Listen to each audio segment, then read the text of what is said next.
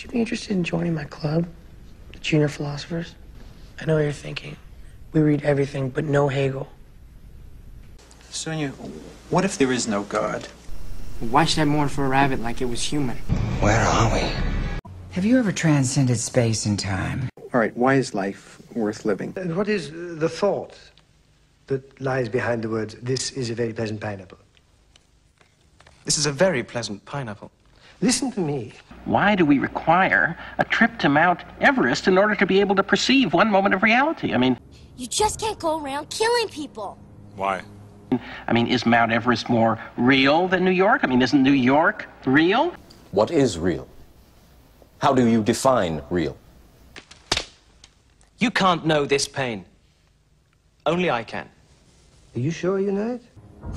What do you mean, why? Because you can't. Why? You think Nietzsche understood something? As the pattern gets more intricate and subtle, being swept along is no longer enough.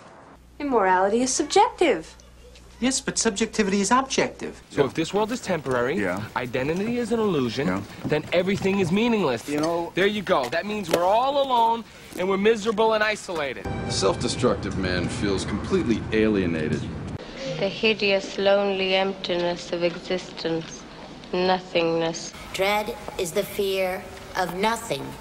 It is night on planet Earth, and I'm alive.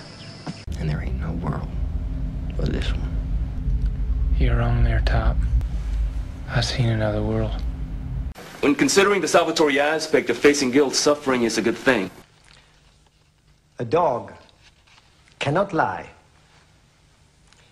Philosophy is just a byproduct of misunderstanding language. You see, I keep thinking that what we need is a new language. The only true wisdom consists in knowing that you know nothing. That's us, dude. But judgment of any system or a priori relation of phenomena exists in any rational or metaphysical or at least epistemological contradiction to an abstracted empirical concept such as being or to be or to occur in the thing itself or of the thing itself.